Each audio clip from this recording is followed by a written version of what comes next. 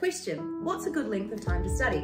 Well, you might think more is better, but it's not really the case. Doing something that we call a Pomodoro method uh, can help you break down your bigger tasks into smaller bite-sized pieces. So what we do is we set a work period for 20 to 45 minutes with a five minute break, and then you repeat that for two to three hours.